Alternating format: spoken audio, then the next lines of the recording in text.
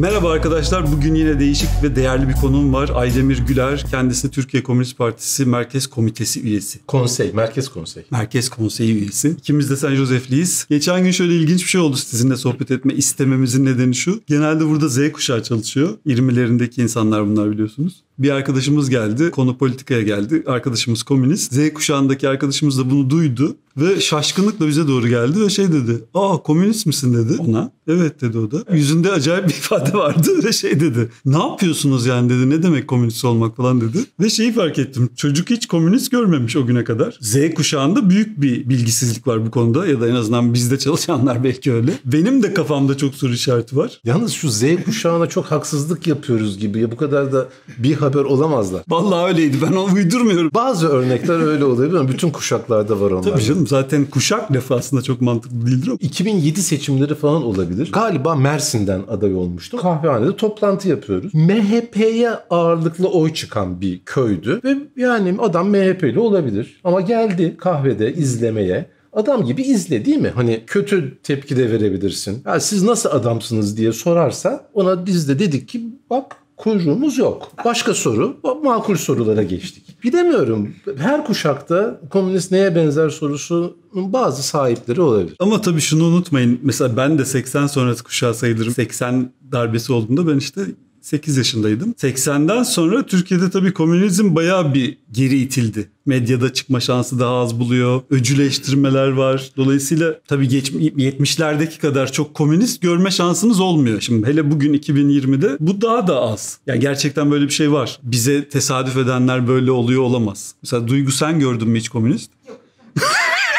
Komünizm nedir diyerek geyik bir şeyle başlayalım. Bu öyle bir soru ki tuzak soru aslında. İsteyerek mi o tuzak Vallahi tuzak kurmuyor ama çünkü kendini tersinden, negatifinden anlatmaya davet ediyor. Bugünkü dünyada ne varsa onun tersidir komünizm diye başlayası geliyor insana. Güzel. Ama bu tuzak olur. Çünkü komünizm sadece bugünkü dünyayı yıkmak gerekiyor ama sadece yıkıcı bir şey değil. Aynı zamanda pozitif bir şey, kurucu bir şey. Neler var mesela? Koca koca bankalar var, santraller var. Binlerce kişinin çalıştığı otomobil fabrikaları var. Bunların sahiplerinin özel kişiler olması hakkaniyete sığar mı sığmaz mı sorusuna komünizm sığmaz diye cevap veriyor. Çünkü bu büyük varlıklar, servetler insanların emekleriyle, anne babaların emekleriyle, beşinci kuşaktan gelen emekleriyle falan biriktirilmiş olamaz. Burada bir gasp var. Mülkiyet bir gaspa dayanıyor. Gayet pozitif bir şey. Hastanesinden fabrikasına üretim araçları toplumun ortak malı olacak. Komünizm örneğin bu. Bu sorulara sık sık muhatap oluyor musunuz? Yoksa ender bir durum mu sizin için? Yo ender bir durum değil pekala. Makul sorular bunlar can. Çok garip sorular sormadığımı düşünüyorum. San Josef'te zaten fazla garip soru sor. çok az oy alıyorsunuz. Temel argümanınız tabii çok ters olduğu için ters derken demin dediniz ya bildiğimiz her şeyin tersini söylüyorsunuz aslında. Dolayısıyla da görünürlüğü çok az. Ben şeyi çok merak ediyorum. İnanılmaz düşük bir oy oranı var ve ona rağmen direniyorsunuz. Sadece siz de değil başka partiler de var bu alanda. Bu sizi hiç yıldırmıyor mu? Şimdi burada da tuzak var. Ben hep tuzak vuruyorum. Gerçekten ilginç. Türkiye'de kaç il var? Bir tanesi TKP kazandı. Biliyorum evet. E, şimdi, Belediyelerde kazandı. Evet il belediyesinde kazandı. Ama şimdi bu tuzağa düşmek. Ben böyle cevap vermeyeceğim. Ama siz hep öyle cevap verip sonra vermeyeceğim diyorsunuz. Ucunu göstereceğim ama başka bir şey söyleyeceğim. söyleyeceğim de şu. Çok uzun zamandır dünya üzerinde seçimler var. İnsanlar seçme ve seçilme hakkı için mücadele ediyorlar. Kazanıyorlar. Nasıl kazanıyorlar? Birinci aşamada cinsiyet eşitsizliğiyle kazanıyorlar. Kadınların oy verme hakkı yok. Diyor ki düzen o zamanlar seçebilirsiniz ama kadınlar kenarda dursun. Erkekler seçecek. Erkekler erkekleri seçecek. İkincisi parası olanlar seçilecek. Belli bir ölçüde parası olanlar oy da kullanabilir. Ama seçilebilmek için biraz daha fazla. Onu da vergiyle ölçüyor falan filan. E bu demokrasi. Gerçekten bunun adına demokrasi deniyor. Böyle insanlar seçiliyor ve yönetiliyor. Bugün kadına yönelik bir ayrımcılığın seçim sisteminde ve paraya dayalı bir ayrımcılığın ortadan kalktığını düşünebiliriz. Düşünebilir miyiz? Düşünemeyiz. Tam tersine başka ayrımcılıklar gelmiş. E bakın Sovyetler Birliği varken zannediyorum kapitalist dünyada işsizlik oranı %3'ü falan geçemiyor. Sonra Avrupa Birliği ülkelerinde o %10'a çıktı. Normal karşılanır bir şey haline geldi. Şimdi hele bu pandemiyle beraber Bunun %40'a çıkacağı çok açık. İşi olmayan işsiz adamın oyuyla iş güç sahibi parası olan adamın oyu bir ve aynı şey mi? Sadece oyla mı? İşi olmayan, evine ekmek götüremeyen adam ben de yönetenler arasına katılayım, seçileyim falan diye düşünebilir mi? Bir fikri olsa onu nasıl propaganda edebilir? Dolayısıyla siyasetteki ağırlığın, gücün ölçütü olmaktan hiçbir zaman olmadı demiyorum. Bazı dönemlerde, özel dönemlerde oy oranları siyasetteki gücün önemli bir göstergesi haline geldi. Ama bugün değil.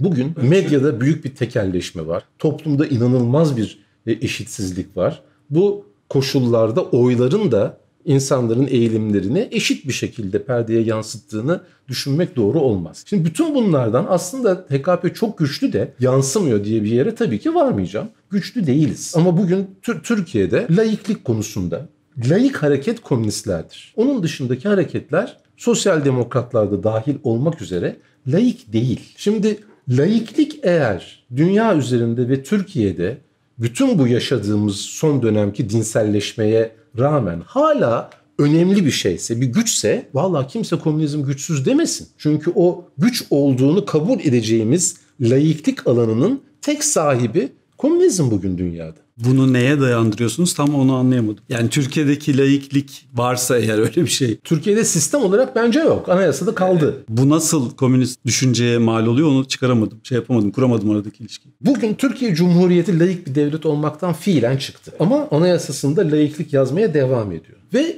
laikliği tamamen kaldıralım, bir şeriat devleti haline gelelim diyenlere hala bu toplumun geneli, laik bir devlet altında yaşamayan bu toplumun geneli bu ne saçmalıyor diye bakıyor. Normalleşemiyor laiklik düşmanlığı. E bunun siyasette bir yansısı olması gerekmez mi? Bütün Ama... siyasi partilerin genel başkanlarının cuma namazlarını nerede kıydık kıydıklarını biliyoruz. Bunun laiklikle ne alakası var? Kılarız veya kılmayız. Bu kimseyi ilgilendirmez. Siyaset alanıyla toplumsal yaşam, gündelik yaşam bunların arasında dinin yeri yok. Din insanlara hapsedilmelidir. İnsanın kendi özel alanı, özerk alanı olmalıdır. Aynı şeye inananlar beraber ibadet de edebilir. Ama bu onlara bir ayrıcalık kazandırmaz. Siyasetçiye de bir ayrıcalık kazandırmaz veya tam tersi bir aşağılanma nedeni haline gelemez. Şimdi bütün bunlar makulse bunun siyasette bir karşılığı olması lazım. Ve burada TKP duruyor. Bunun siyasetteki karşılığı bugün yoksa yarın olur. Bunu kimse engelleyemez. İstediğiniz kadar oradan buradan çekiştirin, baskı altına alın. Toplumda ne varsa siyasete yansıyacak. Yansıdığı an Orada TKP görünmeyecek. Söylediğim bu. Soruya cevap vermediniz aslında yani. Söylediklerinizin hepsine katılıyorum TKP da. neden güçsüz müydü soru? Hayır. Hiç umutsuzluğa düştüğünüz olmuyor mu? Çünkü söyledikleriniz teoride çok doğru ama pratikte karşılığı olup olmadığını bilmiyoruz. Yok biliyoruz. Şimdi teori ile pratik arasındaki ilişki öyle bir ilişki bence değil. Bir teorik bir şey kuruluyor sonra da o pratiğe yansıyor. Hayır. Teori pratikle beraber ilerliyor. Bugünün dünyasında ve bugünün Türkiye'sinde laisizm bir bombardımana tutulmuşken, bütün toplum dinselleştirilirken, dine göre yaşayalım denirken, mahkeme kararları dine referansta falan bulunmaya başlamışken laisizm hala önemli olmaya devam ediyor. Şimdi bu teorik bir şey değil ki bu çok pratik bir şey. Onun önemli olduğunu siz söylüyorsunuz. Ve bütün siyaset alanı, diğer siyasi partiler laikliğin hiçbir önemi kalmamış gibi devam ediyorlar hayatlarına. Cuma'ya nereye gideceğiz? Cuma'dan önce açıklarım kararımı, sonra açıklarım. Bunun üzerinden dönen bir muhabbet herhalde anlatabilmişimdir. Bu, bu devam edemez. Kesinlikle anlatabiliyorsunuz ama soruya cevap vermemek konusunda... Peki o zaman soruyu tekrar alayım. Daha önce hiçbir politikacıyla karşılaşmamıştım etkilenmiş durumdayım sayın seyirciler. Bütün bu dedikleriniz doğru ve gönülden katılıyorum. Ama biliyoruz ki TKP iktidara gelmeyecek. Yo. Bütün bunlar doğruysa ve yarın seçim olduğunda siz sandığa gittiğinizde neye oy vereceksiniz? Doğruya mı oy vereceksiniz? Yoksa benim çıkarım şuna uyar falan diye. Biz ikimiz çok uç yerlerde insanlarız. Ben hayatını reklam yönetmenliği yaparak yıllarca kazanmış biriyim. Siz ise TKP'nin merkez konsey üyesisiniz. Benim dünyaya bakışım şu. Bir fikir var ortada. Laiklik fikri var. Bir sürü fikrinizden biri de bu. Bunun satılması lazım. Satılması derken kötü anlamda almayın. Bu fikrin transfer edilmesi lazım. Bu düşüncenin yayılması lazım. Şimdi bakıyoruz. Kitlelere ulaşması lazım evet, diyelim. Karşı tarafta böyle bir alıcı yok. Dolayısıyla benim Var. perspektifimden baktığınız zaman siz aslında Müslüman mahallesinde salyangoz satmak ha, lafıyla. Türkiye'yi dinselleştirmeye çalışıyoruz, çalışıyoruz da bir türlü beceremiyoruz. Geri tepiyor. Türkiye'de deizm tehlikesi ortaya çıktı falan diyenler bugün iktidardakiler. O var evet. Ama yine de oranlara baktığınızda çok az. Laiklik veya dinselleşme. İnsanların gündelik hayatlarını etkileyen bir şey olmasaydı hangisi iyi, hangi ideoloji daha doğru falan bu düzeyde konuşabilirdik. Ama şimdi şu rastlantı mı? Diyanet İşleri Başkanı koşuyor gidiyor afet bölgesine Allah'ın takdiri diyor. Yani yarın öbür gün yani fabrikadan insanlar işlerinden atılacaklar. Çalışmayacak kartları sabah girdikleri geldiklerinde giremeyecekler fabrikaya. Mahallenin imamı koşacak oraya. Fıtrat böyleymiş diyecek. Bu o kadar gündelik hayatla ilişkili ki. Orada sökmez. Gerçekten orada sökmez. Orada ne fırsatı ne ta Allah'ın takdiri. Ama bu söküyor. dere yatağına evleri kim yaptıysa suçlu o. Burada bak insanların dine inanması, namaz kılması, şunu yapması bu değil önemli olan. Önemli olan dine yüklenen işlev. Dine yüklenen işlev bugünkü adaletsizliklerin, eşitsizliklerin, sömürünün sürdürülmesi işlevi. Burada duvara çarpmamak mümkün değil. Duvara çarpmayla kastettiğiniz şey ne? Bir uyanıştan mı söz ediyoruz yoksa? Şöyle olmuyor zannediyorum. Yani 80 milyon gidiyoruz ve hep beraber yol şöyle dönüyor. Öyle olmuyor. 80 tane su var akan ve onların kendi ilginç hayatları var. Şimdi birkaç yıl önce hatırlarsınız bayağı oldu aslında. Tekel işçilerinin bir direnişi olmuştu. Ankara'da, o Sakarya'da falan çadırlar kurulduydu. E orada bir tekel işçisinin bir gazeteciye söylediği bir laf vardı. Ben buraya geldiğimde günde 5 vakit namaz kılardım. Ya şimdi galiba komünist oldum. Hakikaten. Covid olmak gibi bir şey gibi. Hayır hakkını arayınca namazın onunla ilgili olmadığını anlıyor. Beş bak defa namaz kılabilir ama bu hakkını aramasıyla herhangi bir bağı yok. O başka bir şey. O onun inanç dünyasıyla ilgili özel bir şey. Öbürü hakkını arıyorsa hak arayışı sola doğru çekiyor. Sol deyince de akla yani komünizm geliyor. Şimdi böyle bir denklik de var. Haksızlığa uğradım, hakkımı arıyorum diyor ve solculaştığını hissediyor. Aynı toplumdaki bütün gerçek ilişkiler, gerçek değerler gibi siyasete yansımaması bence mümkün değil. Yansıyacak. Ne zaman? İşte tekel işçisi o gün o sözüyle yansıttı. Sürekliliğini sağlayamadı. Sürekliliğini sağlayamadı. Neden? Şimdi bu- burada herhangi bir e, solcunun düşeceği e, bir tuzak da çok biz de gadre uğradık, biz de zulüm gördük, baskı gördük falan filan olur. Hayır. Hiç hiç alakası yok. Siyasal mücadelenin içinde iktidarın, muhalif olanların önünü kesmesi vardır. İçerilir. Ve orada benim önümü kestiniz diye mızıkçılık manası yok. Yolunu, yolunu kesen varsa sen de başka bir yol açacaksın. Uğraşıyoruz, uğraşıyoruz, devam ediyoruz. Bugüne kadar başarılı olamadık. Başarılı olduğumuz şeyler oldu. Sonra geriye düştük. Ama uğraşıyoruz. Z kuşağından birisi, birisi bile aa komünist gördüm diyorsa onun adına üzücü, sizin adınıza üzücü, bizim adımıza üzü- üzücü aslında üzücü bir olay bu yani demek hiç karşılaşmamış. Burada bir öz eleştiri yapıyor musunuz? Belki o Z kuşağı veya başka kuşaktan biri ya ben hiç faşist görmedim diye de düşünebilir. Halbuki etrafına baksa faşistten geçilmiyor. E, na- ne yapacağız? Ama yok onu demiyor. Biliyorum onu. Çünkü görüyor onları. Ya mesela şeye baktım YouTube kanalınıza baktım. Az aboneniz var. Şeyi deniyor musunuz? Gerçekten samimi merak ediyorum. Bu meseleyi anlatmayı, yeni kuşakları convert etmek diyeceğim, devşirmeyi deniyor musunuz? Türkiye Komünist Partisi şimdi aldığı oy, üye sayısı falan bir takım kriterlere bakıldığında büyük bir parti değil. Kabul. Ama küçük, marjinal, hadi biz de deniyoruz. Öyle bir şey asla değil. Şimdi Türkiye Komünist Partisi 2020 TKP'nin 100. kuruluş yıl dönümü. Bu Türk TKP Türkiye'nin en eski partisidir. CHP değildir en, en eski parti. Bazen laf kalabalığına getiriliyor. Hayır TKP'dir. Onun dışında bu hani 80 öncesi o zamanlar çok varmış falan dediniz ya. Şimdi o zaman çok olan şey hafife alınır bir şey gerçekten değildi. Çok etkili bir sosyalist komünist hareket vardı. Ama şu anda daha güçsüz değil mi? Bana öyle geliyor. Tabii ki. Tabii ki şu anda daha güçsüz. Ama arada ne oldu? 12 Eylül darbesi oldu. Çok kötü yaptılar bu generaller demiyorum. Yenildik. Yendiler bizi. Ben de çocuktum o zaman ama bizim ağabeylerimizi, ablalarımızı yenilgiye uğrattılar. E çünkü silah vardı ellerinde yani. Çok beklenmedik bir durum değil orada yenilmiş olmanın. Kimse size kızamaz orada niye yenildiniz diye. Biz kendi kendimize kızmalıyız. Silah hep var. Silah hep olacak ve bu dünyanın bayağı bir gaddar bir dünya olduğunu herhalde hissediyoruz. Gayet iyi biliyoruz hocam. Önemli siyasi dönemeçlerde mutlaka insan kanı dökülüyor. Lütfen dikkat edin mutlaka insan kanı dökülüyor. Ya Dolayısıyla silah var. Mesele senin kaç silahın var meselesi değil. Yani kötülerin elindeki silahın kullanılmasını engelleyecek bir karşı ağırlık, bir karşı güç oluşturmak. Engelleyecek olan bu. Ondan sonra Sovyetler Birliği yıkıldı. O da Arada bize denk geldi ya. hocam evet. Yıkılınca ne oldu? Yani sayılara dönüp bakılabilir. bütün dünyada işsizlik iki katına çıktı. Çünkü kapitalist dünya işsizliğin olmadığı bir üçte bir varken koy veremezdi. Ben de işsizliği engellemeye çalışıyorum demek ve belli ölçülerde de dizginlemek durumundaydı. Ama kalkınca işsizliğin olmadığı bir rejim dünya üzerinden koy verdiler. Yani diyebiliyor. Yani ne ben sana iş vermek zorunda mıyım diyor. Yani niye niye okuduk o zaman? Yani ben okumadan da bir şeyler taşıyıp 3 kuruş kazanabilirdim. Okudum okudum okudum ve bana iş bulmak zorunda olmayan bir düzende yaşıyor. Saçma. Hayır. Düzen insanına, çalışmak isteyene iş bulmak zorundadır. Bunu laf olsun diye arada bir propaganda sıkıştırayım diye söylemedim. Bunun bilgi olduğu, kabul edildiği bir dünyadan kabul edilmediği bir dünyaya geçtik. Bu da bizim yenilgimiz. Özetle yenildik ve tabii ki görünürlüğümüz azaldı. Ya şöyle bir şey var. Hani tek parti dönemi falan denir ya. O tek parti döneminde de biliyorsunuz aslında Türkiye'de bir sağ muhalefet var. Yani liberal, yer yer saltanatçı, biraz dinci, laikliğe, işte cumhuriyete falan içten içe bir muhalefet biriktiren bir sağ muhalefet var. Bir merkez var, düzenin merkezi. Beğenirsiniz, beğenmezsiniz ama işte modern bir cumhuriyet kuran Kemalist hareket var. Başka bir şey yok mu?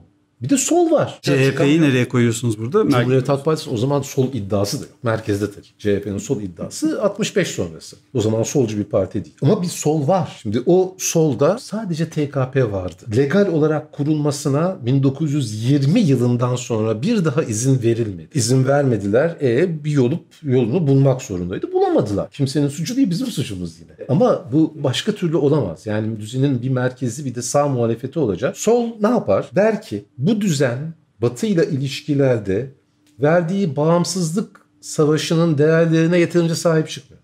Daha bağımsız olmalıyız der. Bu düzen işçilerin, emekçilerin sömürülmesi üzerinden gidiyor. Bunu düzeltmemiz lazım der. Layıklık diyoruz. Bu layıklığın halk kitlelerine mal olması gerekir. Sadece devlet katında layıklık olmaz der. Evet Türkiye modernleşiyor ama modernleştirmenin bir yolu Kürt feodalitesini silahla yok etmek değil, halkı kazanmaktır. Halbuki bu düzen Kürt feodalitesini yok edeceğim kisvesi altında Kürtlerin kimliğini, varlığını reddediyor der.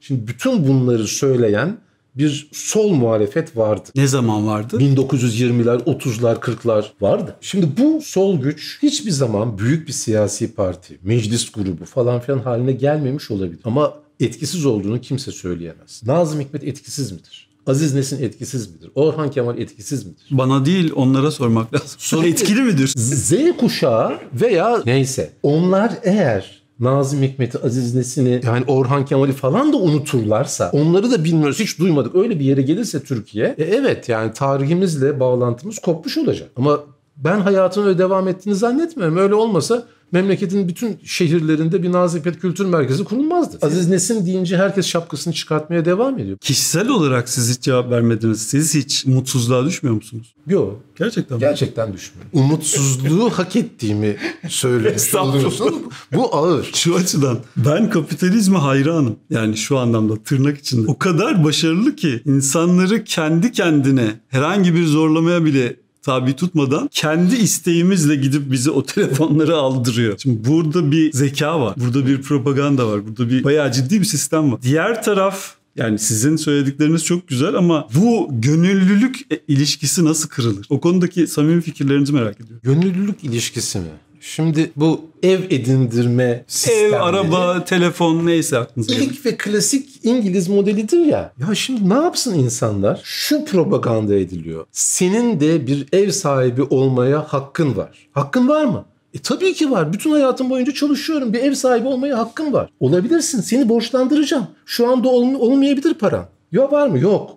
Ama olabilir. Çalışmaya devam edeceksin. 20 yıl, 30 yıl daha çalışacaksın. Borcunu yavaş yavaş ödeyeceksin. Çok cazip teklif. Ev sahibi olmayan insanın ev sahibi olması ve onu çocuklarına bırakabilme ihtimali çok cazip bir teklif. Şimdi o çok inceldi ve kılcal damarlara indi. Cep telefonu alabilirsin. Yok mu 5000 liran? Olsun. Ben olsun. sana veriyorum. Ben sana veriyorum. Çok cazip teklifler. İşte bu cazip teklifler karşısında mesela siz ne yapardınız? Bunun cevabı ev alma, borca girme, cep telefonu alma değil. Komünizm bir yokluk ve yoksunluk düzeni değil ya. Yani. Beraber ürettiğimiz, toplumun ürettiği bütün değerlerden yararlanabilmeli tabii ki. Ama mesele şu. Birilerinin zengin olması kar amacıyla yapılıyor. Problem burada. Problem insanların evinin, arabasının, telefonunun olmasında değil. Şimdi bu ürünlerden yararlanmak artık temel insan hakkıdır. Temel insan hakkı ekmek su değil artık. Buzdolabı da, otomobil de onlar da insan hakkı kapsamına giriyor. Ve bu düzende bu hakka sahip değilsin. Problem bu. Bu değiştirilebilir bir şey. Nasıl? Na- nasıl?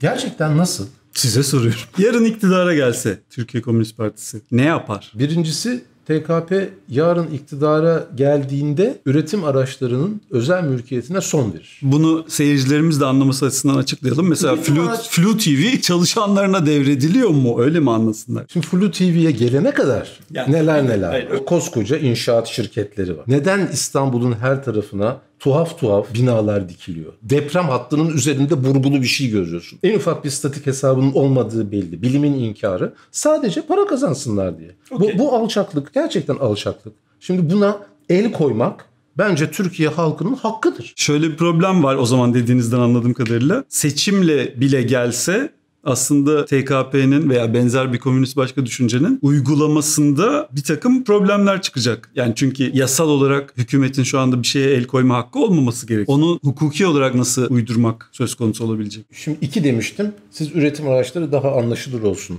dediniz. Fabrikalar, büyük işletmeler, hizmet üreten büyük işletmeler. Şu anda mesela büyükşehir belediyeleri var ve işte ne bileyim 15 tane, 22 tane anonim şirket. Tamam bunların hepsini devletleştirmek Onların istiyorsunuz. Kamulaştırılması. Yasal olarak böyle bir zemin var mı Türkiye'de? Öncesinde bir şey ekleyeyim. İkinci söyleyeceğim oydu. Bunu yapabilmek için arkanızda hani yüzde otuz buçuk oy aldım da falan filan öyle hesaplarla değil. Büyük bir kitle desteği, büyük bir toplum desteği olması %65 plus. halk kitleleri sahip çıkacak. O fabrikanın işçisi evet diyecek ya bu fabrikanın sahibi benim. Ben yarattım bu fabrikayı. O inançla fabrikasına gidecek. Türkiye'nin aydınları diyecekler ki bu düzen verimsiz. Ancak devletleştirirsek Türkiye kalkınmasına devam eder, işsizlikler gider. Türkiye'nin reklamcıları diyecekler ki, gerçekten diyecekler ki Biz artık özgür- reklam çekmiyoruz. Hayır özgürlüklerden bahsediyoruz. Bu düzende mi özgürüz yoksa özel mülkiyetin egemenliğine son verdiğimiz bir düzende mi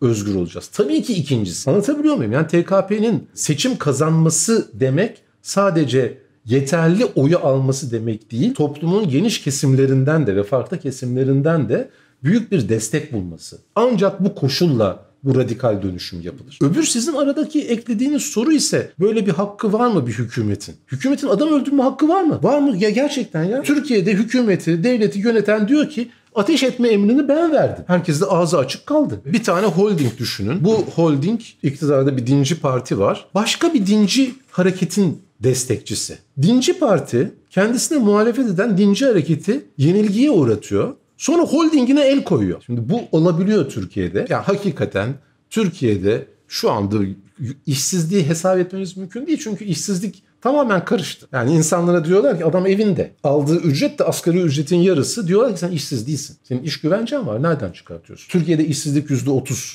ve üzerine doğru gidiyor. Şimdi çalışabilir durumda olan 3 kişiden birini işsiz bırakan bir düzenin sahipleri diyecekler ki hayır, hayır. Bizim düzenimiz iyi. Bizim fabrikalarımıza şunla buna el koyamazsınız. Çok saçma. Gerçekten çok saçma. Şimdi böyle bir şey olduğunda bu şu demek olur herhalde sınırlı ekonomik bilgimle. Bütün dünyadan dışlanmak demek oluyor bu. Yani daha doğrusu Türkiye'deki bütün yatırımcıların çıkması. Borsanın çökmesi. Borsanın çökmesi çok önemli değil ama işte bir şekilde dünyadaki bu kurulmuş neoliberal sistemin dışına geçmemiz demek oluyor değil mi? Neoliberal sistemin dışına geçmek çok iyi bir şey. İyisinin kötüsünü ayrı söylüyorum. Bir anda Türkiye aslında tamamen uzayda bir noktaya dönüşüyor. Yo bildiğiniz bu Orta Doğu'da, Anadolu, Trakya, Balkan. Ne demek istediğimi anlıyorsunuz. Anlıyorum tabii ama dünyanın neoliberalizmde kalacağını nereden varsayıyoruz? Neoliberalizm dediğiniz şey nerede başlıyor biliyor musunuz? 73'te Şili'deki darbeyle başlıyor neoliberalizm. Bir insan hayatı. Sizin hayatınız kadar neoliberalizmin tarihi. Ama ben zaten çok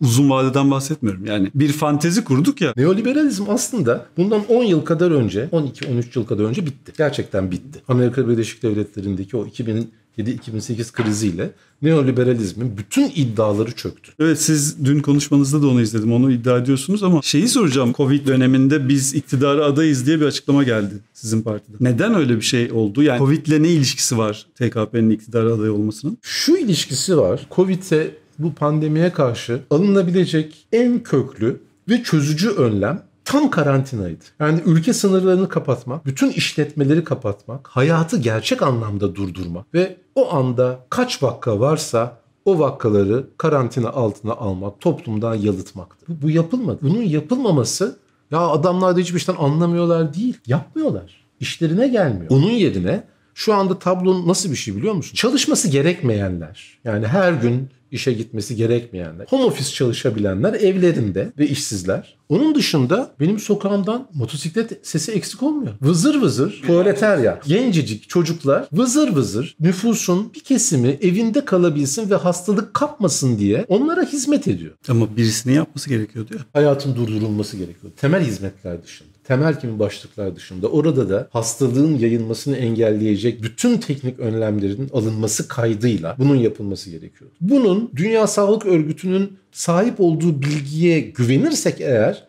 yaklaşık iki hafta olduğunu da biliyoruz. Eğer ona güvenirsek iki hafta. Bunu yapmayanlar Türkiye'de binlerce insanın ölümüne neden oldu. Ne yaptılar? Turizm sektörünü kurtardılar. Büyük fabrikaları kurtardılar. Satılamayan otomobiller üretilmeye devam ediliyor. Şimdi de özel okulları kurtarmaya bakıyor. Şimdi iki şey soracağım. Tekrar fantezimize dönelim oldu bu iş. Ama söylediklerinizden şunu anlıyorum. Aslında siz de bunun uzun vadede olacağını inanıyorsunuz. Yani kısa vadede bunun imkansız olduğunu sizin de gördüğünüzü düşünüyorum. Yani evet. %65-70'lere varan bir çoğunluk arkasında olmadan bu kadar radikal değişimler yapılamaz. Ama onu şimdilik bir kenara bırakalım. Büyük kitle hareketlerinin ne kadar zamana yayılacağına dair bir teorik ve tarihsel tartışma yapabiliriz. Ben çok hızlı olabileceğini düşünüyorum. Özel durumlar olursa hızlanabilir evet. Ama gidişatın bu olduğu bir durumda çok kolay Ya değil. 100 yılda bir böyle bir salgın oluyor. Kendileri çok özel bir durumdayız. Peki onu yine de bir kenara bırakalım argümanın sağlığı Peki, için. Bir kenara bırakacağımız şey bugünden yani birkaç yıl içinde dünyada birkaç yüz milyon insanın siyasi eğilimlerinin ve örgütlülüğünün değişme ihtimali. Ben Yani- bu ihtimal var diyorum. Okey geldiniz. Şu insanı biraz ürkütüyor açıkçası. Bu kurumları devletleştirdiniz ya. Bütün üretim araçlarını aslında kamulaştırdınız. Bunların işleyişini kim yönetecek, kim karar verecek? Lütfen halk demeyin. Yüksek Planlama Konseyi kurulacak. İşte en korktuğum kelime geldi. Neden? Yüksek Planlama Konseyi. İstanbul'da konuta ihtiyaç yok. Okey. Yok. Bu konu- ama, Ama deli gibi konut üretiliyor.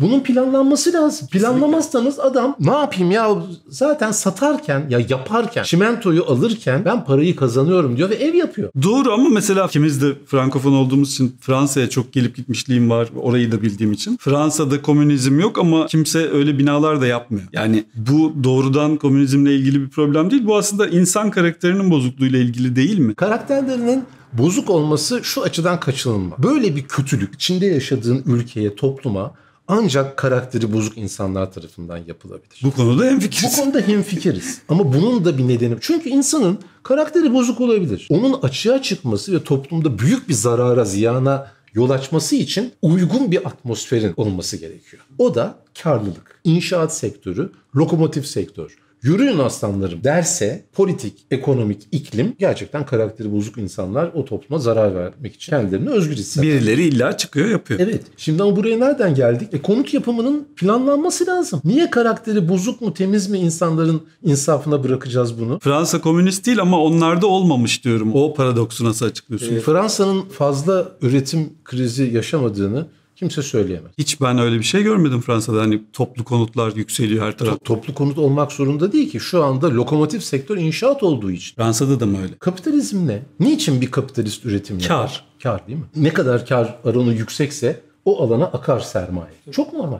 Yatırım yapacağımız alan, üretimi güçlendireceğimiz alana kar oranı değil toplumun ihtiyacı karar versin. Tamam bu kapitalizm içinde de yapılabilecek bir şey değil mi? Değil. Değil çünkü kapitalist kar peşinde koşuyor. Tanımı öyle. Sizinki çok kontrolsüz bir kapitalizm oldu. Yani Fransa'da siz gidip evinizin üzerine kat çıkamazsınız atıyorum. Bunun tarihsel kaynakları var çünkü. Hiçbir eski kenti İstanbul kadar hoyratça kullanamazsınız. Yani kimse için dilemeyiz diyelim. Belki vardır başka örnek ama düşmanına dilemezsin böyle şey. Çünkü orada başka bir takım kısıtlar var. Tarihsel olarak oluşmuş kültürel kısıtlar var. Savunma sanayi denen savaş araçları. Buna insanlığın ihtiyacı var diye kim iddia edebilir? Silah satanlar için çok hala ben istediğim cevabı alamıyorum. Basitleştirmek için şöyle konuşalım. Blue TV'ye el konuldu. Bir medya üreticisine el konuldu. Şimdi ne olacak? Buradaki günlük operasyonlara kim karar verecek? Bu tuzağa girmem. Gerçekten ya niye tuzak kurayım ben? karşılaştırılabilir şeyler değil. Verdiğiniz diğer örnek Türkiye'de düzenin ideolojisini, kültürünü, siyasetini belirleyen temel araçlardan bir tanesi. Büyük bir tekelden bahsediyorsun. Peki. Siyasi iktidarın parçası bir tekelden bahsediyorsun. Buna el koyduktan sonra cevabın ne biliyor musun? Kim yönetirse yönetsin bunlardan daha kötü yönetemez. O kadar büyük zarar ziyan veriyorlar ki memlekete. Kim yönetirse yönetsin ya. Ama onun dışında medya alanı sadece bunlardan mı ibaret? Hayır. Değil tabii ki. Burada hala TRT'de bile bir dizi değerli yapımcı, emekçi insan var. Bu işi bilen insan var. Bu insanlar niye yönetemesin? Yönetmek için başlarında bir patron olması mı gerekiyor? Patron demezdim ben ama bir şeyin yönetilmesi gerekiyor evet. Şimdi Sovyetlerdeki sistemin çökmesinin en önemli nedenlerinden biri olarak gösterilen şu değil miydi? Bürokratlaşma sorunu. Başka bir kesimin patronların yerini alması ve o mekanizmanın giderek antallaşması değil miydi? Sovyetler Birliği'de bir bürokratlaşma sorunu var. Ama bürokratlaşma sorunu nedeniyle Sovyetler Birliği yıkılmadı. Sovyetler Birliği dünya çapında süren mücadelede ağır bir yenilgiye uğradı. Yenildi. Yenilmesinin kaynakları yani kendi güçlerindeki zayıflamanın nedenlerini tartıştığımızda oraya gelebiliriz. Ama o zayıflıklar, kendi zayıflıkları asıl cephedeki verilen mücadeleyi örtemez. Yani dış etkilerden mi söz ediyorsunuz yoksa kendi içindeki olumsuzluklardan mı bahsediyorsunuz? Sovyetler Birliği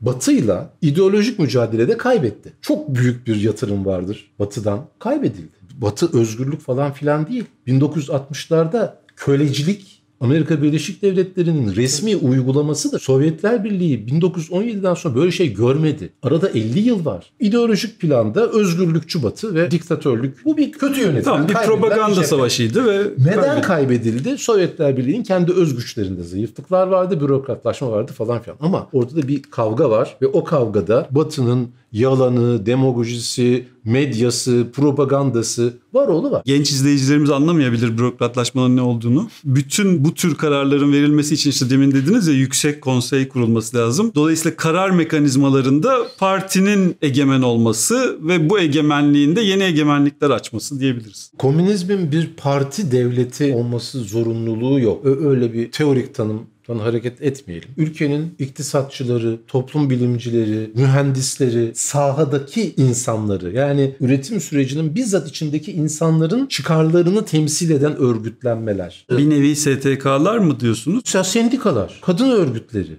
yerel örgütler. Çünkü o planlamanın içine kent yaşamı da, köy yaşamı da girecekse köylü, kentli örgütleri aracılığıyla o planlamanın parçası olmalı. Ben TKP'li olarak İsterim ki sosyalist Türkiye'de Türkiye'nin bütün aklı başında iktisatçılarını, birikim sahibi mühendislerini, halkın çıkarlarına duyarlı o örgütlenmeler herkes partimizin üyesi olsun. Ama partimizin üyesi değil ama yetkin bir iktisatçı. O o mekanizmanın içinde yerini hak etmiştir. Liyakat işlemelidir ve o mekanizmada yerini almalıdır. Parti karar verecek diye bir şey yok. Devletin mekanizmaları olur. Parti tabii ki ister ki hangi parti istemez? Memleketin bütün aklı başında insanları üyemiz olsun. Rudolf Arnheim vardır. Bizim alanlarda çok meşhur bir teorisyen Alman. Şöyle bir iddiası var. Aslında fikirler ve düşünceler ve kelimeler imgelerle canlanır diyor. Siz bana bir şey söylediğiniz zaman mesela sepet dediğiniz zaman benim aklıma resim geliyor diyor Rudolf Arnheim. Dolayısıyla mesela komünist denince de benim aklımda oluşan imge kızgın, sağ eli havada, gülmeyen ve genellikle de sert biri. Neden böyle? Stalin'in çok sempatik görüntüleri var. Kameraya nanik yaptığı görüntüsü var. Herkesi kahkahalarla güldürerek başladığı konuşmaları var. İyi bir konuşmacı olmadığı söyleniyor. Ama o görüntüleri değil de biz başka görüntülerini biliyoruz genellikle. Ama ben sadece Stalin'i söylemiyorum. Tabii canım Stalin hiç söylemediniz hatta. Leonid Brejnev. Ben çocukken Brejnev vardı. Ben korkardım Brejnev'i görünce yani. Brejnev'in dudaktan öpüşen resimden hiç gördünüz mü? Bir Rus geleneği. Vietnam Savaşı döneminde Amerikan devletinin yöneticilerinin, bakanların nasıl fotoğraf verdiğini düşünüyorsunuz? Cezayir Savaşı sırasında Charles de Gaulle'ün oturup kahve içerek, sigarası tüttürerek mi fotoğraf verdiğini ben- yoksa masayı yumruklayarak mı fotoğraf verdiğini? Ama ben sadece politikacılardan bahsetmiyorum. Genel olarak benim kendi komünist arkadaşlarım da bu insanlar kızgın ve ben mesela çok gülen bir insanım. Ferhan Şensoy'un bu konuda bir anısı vardır ya. Komünist toplantıya gider çok güldüğü için atarlar falan. Yani böyle bir şey var. Bir ciddiyet ve bir ağırlık var. Bu neden var? Yani neden olduğunu ben tahmin ediyorum ama söylemeye korkuyorum. Ben bunun birincisi bir yansıtma ile ilgili olduğunu. Yani o imge üretilen bir imge. Bir bunun payı olduğunu düşünüyorum. Öyle değiliz. Gülüyoruz, eğleniyoruz. İkincisi dönemler değişiyor. 1970'ler, 80'ler o dönemin toplumsal normlarıyla bugünküler arasında fark var. Bir erkek topluluğunun sıraya girmesi hiçbir şekilde yadırganmıyordu 1970'lerde. Şimdi bakınca hiç mi kadın yok arkadaş sizin aranızda? Ne bu? Nereden çıktınız? Hangi çağdan kaldınız diye O hissediyoruz. konuda çok dertliyiz. İzleyicilerimizin %89'u erkek. Lütfen. Kadınlar da bizi izlesin. Normlar değişiyor.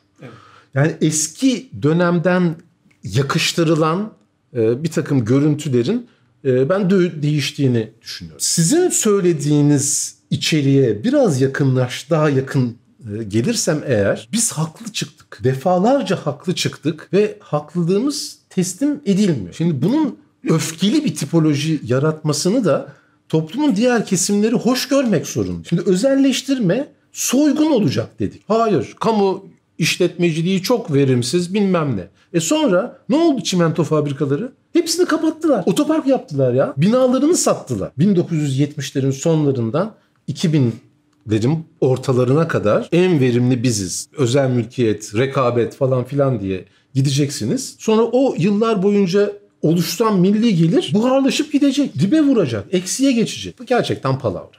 Yani neoliberalizmin verimli olduğu falan. Ama biz bunu söyledik. Söyledik, söyledik, söyledik. Ve bu da İnanılmaz, bizde bir sinir yarattı diyorsunuz. Evet, evet. Yaratır Şimdi- insanda, evet. Yani yaratmazsa insanlığımızdan kuşkulanılması lazım. Anladım. Bu evet ben de bunu düşünüyordum zaten. Yani bu kadar tabii. Ama bir de şu var.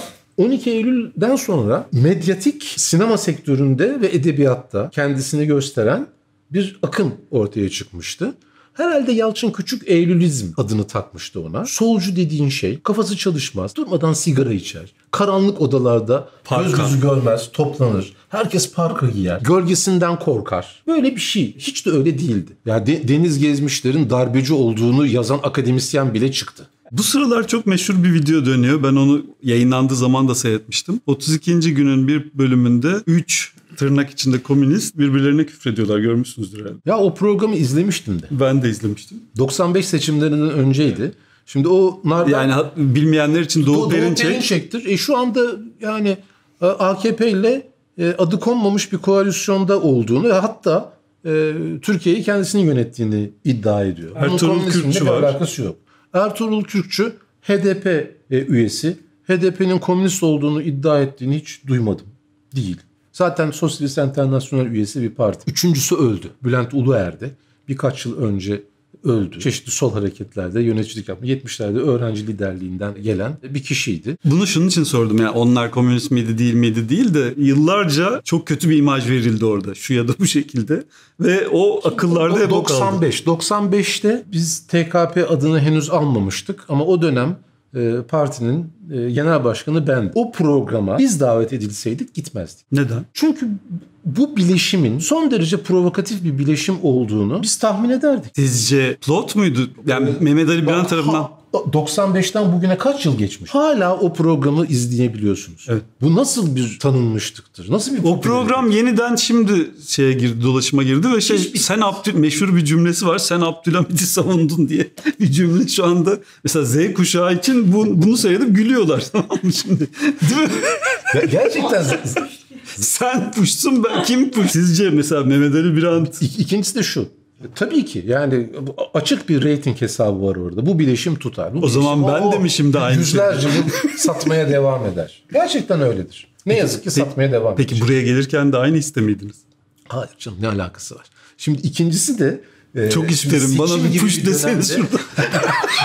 Solcuların kendi aralarında tartışması kadar saçma bir şey. Solcu der ki ben Doğu Perinçek'in solcu olduğunu falan düşünmüyorum. Ertuğrul Kürkçü'nün bir tür solcu olduğunu düşünüyorum. Komünist değil bir, bir solculuk türü. Bunların hepsi meşru. Kimse solcu olmak zorunda değil. Solculuğun tek türü de komünistlik değil. Hepsi meşru.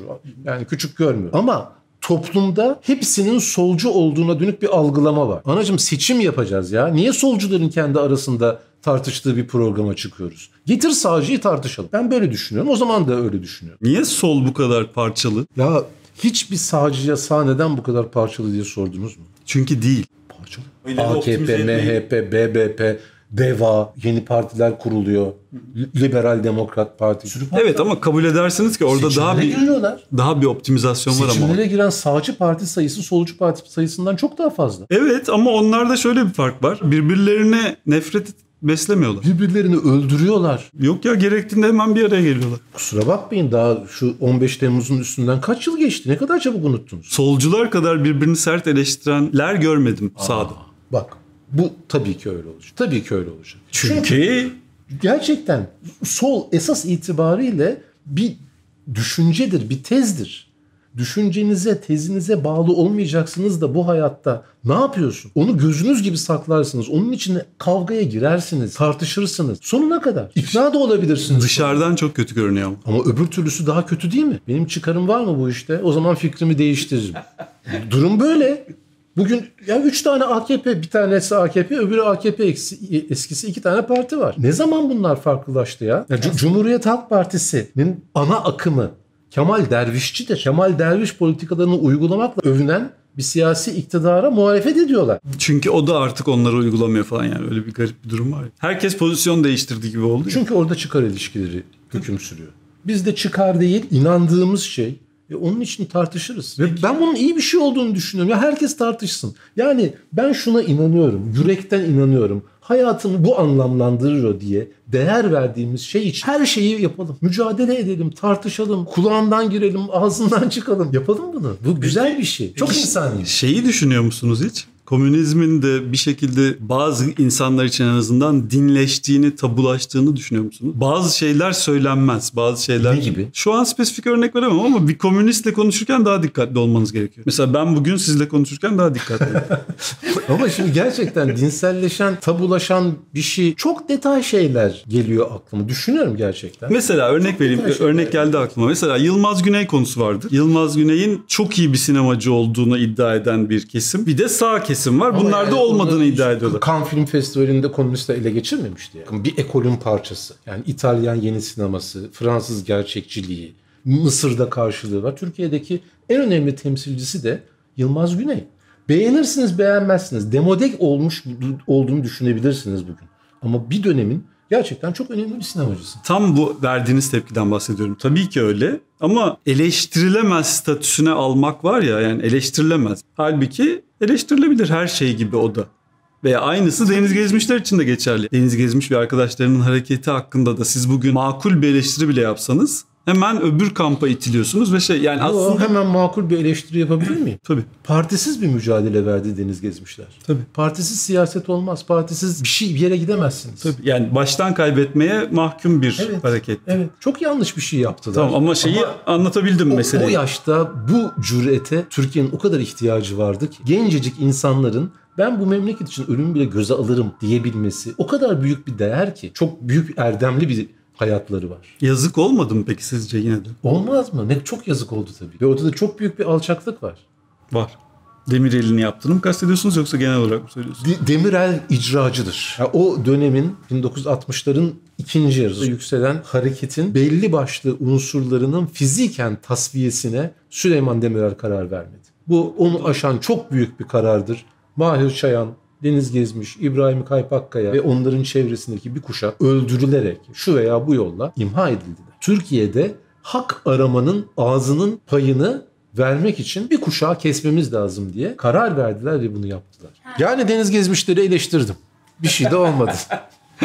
Şimdi bakın bana küfür edecekler büyük ihtimal. 70'lerde çocuktum ama şeyi hatırlıyorum. Karadeniz'de çok ağır bir sol damar vardı. Sol yani herkes solcuydu. O zaman biraz da modaydı anladığım kadarıyla. Ve o günden beri şeyi hep duyuyorum işte devrim hep bir devrim olacak gelecek. Aradan işte hayatım geçti bir noktada. 40 yıl sonra bakıyoruz. O Karadeniz aynı yer AKP'ye geçmiş. Oradaki bütün o sol modası bitmiş. Belki de bugünkü modadır. Tabii o da mümkün ama yani o devrim hala gel bekleniyor ve ne zaman olacak bu devrim onu bekliyoruz.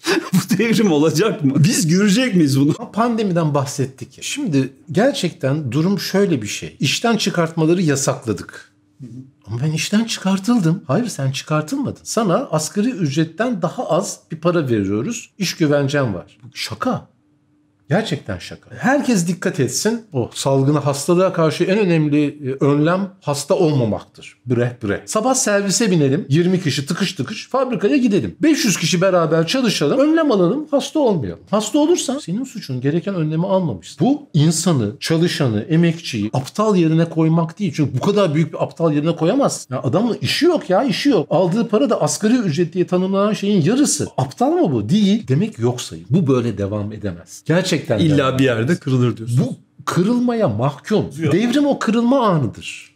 Bununla ilgili bir şey soracağım. Aklıma o geldi. O sorularımın arasındaydı. Şimdi biliyorsunuz otomasyon geliyor. Yani robotlar, üretim. Yani eskisi kadar kol gücü önemli olmayacak. Ve şu konuşuluyor dünyada. Universal Basic In- Income. Yani herkese zaten bir temel maaş verelim. işleri robotlar yapsın. Böyle bir yere giderse dünya komünizmin cevabı ne olur? Biz Frankofonuz ya. Neydi şeyin adı ya? Adieu proletarya. Elveda proletarya. Bir zamanın biz 1980'lerin. Bayağı sloganı ve kitabıydı. Bu robotlar geliyor geliyor bitmiyor. Devrim gibi o da. Ya robotlar gelsin. Robotlarda problem yok ki. Robot dediğin şey 8 saat mi çalışıyor? 3 saat çalışacak. Ne kadar güzel bir şey. Robotların yani otomasyonun, teknolojinin ilerlemesi işçilerin karşısında bir tehdit değildir. Ama eğer şu olursa abi robot var sana ihtiyaç kalmadı güle güle. Bu robotların suçu değil. Bu robotları üreten ve işçileri çalışan, istihdam eden sistemin yarattığı bir sorun. Peki Universal Basic Income konusunda ne düşünüyorsunuz? Yani herkese maaş verilirse. teknoloji, robotlar, makinalar bunlar değeri üretmiyor. Değer üreten emek gücü olmaya devam ediyor. Bunu değiştiren herhangi bir şey yok dünya üzerinde. Teknolojinin gelişimi güzel bir şey. Ama Afrika'da insanların buzdolabı ihtiyacı karşılanıyor mu? Dünyaya hani Avrupa'nın merkezinden şuradan buradan bakmayalım demek kolay. Fazla Avrupa merkezci olduk falan diye konuşmak kolay ve doğru. Ama o zaman Afrika'dan bakalım. Yok öyle bir şey. Bu robotların gelişmesinde bir sakınca yok. Mesele o temel üretim, temel ihtiyaçlara insanlık daha doymadı. Açız. Fabrikalara ihtiyacımız var. Millet aç. Oraya geldik. ihtiyacımız var. Gerçekten böyle. Peki ben gerçekten şahsen sizin %20 oy aldığınız günleri çok görmek isterim ama görebilir miyim? çok şüphelerim var. Çok teşekkür ederiz. Var mı eklemek E istediğiniz bir var şey? tabii canım bitmez ki. Şimdi bir yani yüzde üç e, efsanesi var. 1965'te Türkiye İşçi Partisi o dönem işte Mehmet'le Aybar Genel Başkan, Behice Boran falan 15 milletvekili meclise giriyorlar. Baraj konmadığı için giriyorlar. Yüzde üç oy alıyorlar ve meclisin yüzde üçü demek olan 15 milletvekilini meclise sokuyorlar. Mükemmel bir temsilde adalet. Sistem o. Güzel. Ee, sonra sonra bir yıl sürmüyor. Cumhuriyet Halk Partisi biz ortanın solundayız diyor İsmet Paşa. İsmet Paşa bayağı yaşlı o zamanlar Evet. ve yaşamının sonlarına gelirken solcu olduğunu keşfediyor. Türkiye Aslında İşçi onun- Partisi yükseldiği için. Onun mimarı Bülent Ecevit değil mi? O ortanın O ortanın solu e, çıkışı yani CHP'nin solcu bir parti olduğu çıkışına imza atan ilk İsmet İnönü. Ama partiyi e, o anlamda sosyal demokrat bir parti haline getiren tabii ki İsmet İnönü değil. Daha sonraki kuşak ve Bülent Ecevit. Birinci etki bu. Türkiye'de sosyalizm, komünizm yükseliyor. Yönetenler kendilerine çeki düzen vermeye başlıyorlar. Biraz önce değindik ya. Sonra bunu nasıl keseriz? Kendimize çeki düzen vermek pek karlı bir şey olmayacak. İyisi mi? Biz öne çıkan bir kuşağa gerçekten kellesini uçuralım diye karar veriyorlar. Orada solun yenilgisi başlar. Sol yükselmeye, örgütlenmeye, insanların gözünün içine bakmaya, koduna girmeye, çoğalmaya devam etmeliydi ve bu kararı e, aklından geçireni yakmalıydı. Orada kaybettik. Orada kaybetmeseydik Türkiye ve 60'ların sonunda ve 70'li yıllar boyunca sol herhangi bir siyasi akım falan değildir. Vicdandır. Halkın çıkarıdır, insanın iyiliğidir. İyiden, güzelden, gelişmeden yana olan ne varsa solculuk odur. Bunun önünde yüzde yirmi falan filan. Gerçekten hikaye. Gerçekten hikaye. ya yapmayın. %20 bence iyi oran verdim size hala beğenmiyorsunuz. Be- beğenmiyorum. Beğenmiyorum. istiyorsunuz? Ya, gerçekten biz ya tü, örgütlü bir toplum istiyoruz. Türkiye'de herkes örgütlenmek ne demek? Ya bir yan yana gelelim. Nedir? Bizim çıkarımız ne? Geleceğimiz nerede? Düşünelim, tartışalım, karar verelim. Aldığımız kararı da uygulayalım. Böyle bir Türkiye istiyoruz. Siz Türklerin bu konuda özürlü olduğunu düşünmüyor musunuz? Ee, yok ya öyle bir şey yok. Yani e, Nazım Hikmet bir şey söylüyor. Bütün milletler e, kadar e, ne iyi olan milletim diyor. Gerçekten insanlık e, bu tür tasniflere bence e, uymuyor. Ya bazı bir dönem en ileri kültürü temsil ettiğini görüyorsunuz. Sonra bakıyorsunuz neler neler yapıyor. Almanya. Yani nazizmi üreten Almanya. Faşizmi üreten İtalya. Tamam örgütlenmek konusunda çok iyiler onu diyorum işte. Hayır örgütsüzlüğünü kaybediyor. Sürüleşiyor. Sürü olmak örgütlülük değil. Yani biat etmek örgütlülük değil. Değil. Türkiye'de sürüleşme var. Bak. Ve dolayısıyla Türkiye kötü bir ülke haline geliyor. İnsanların diğer insanların kötülüğünü istemesi, bile isteye kötülük yapması meşrulaştı şu anda. Kötü bir durumdayız. Ve bunun çaresi gerçekten örgütlenmek, sürü olmaktan çıkmak. Sürü olmaktan çıkan bir ülkede komünizmin yüzde yirmi başarısızlıktır. Yüzde otuz istiyoruz o zaman. Saçma ve eğlenceli bir soruyla bitireyim. Neden solcular sağ ellerini kaldırır? Solun kaldırıldığı, kaldırılmasının gelenek olduğu ülkeler de var. Ha, var mı? Bazı ülkelerde komünistler sol yumruklarını kaldırıyorlar. O bir selamlama türü oluyor. Orada sol solculuğu temsil ediyor. Sağ, Türkiye'deki gelenek sağ e, ve o işçi sınıfını temsil ediyor. Sağ yumruk emeği temsil ediyor. Bu aslında Fransız devriminde çıkmış bir şey değil mi? Sağda oturanlar solda oturanlar aslında o tamamen tesadüf yani. Evet, daha sonra işte o konvansiyon meclisinde e, öyle bir yerleşim. Sol kanat, Montagnard, Dağlı, Jacobinler falan onlar solda oturuyor. Peki o zaman ne diyelim? Güzel günlerde siz yanmazsanız ben yanmazsam. Yok ya bizim 100.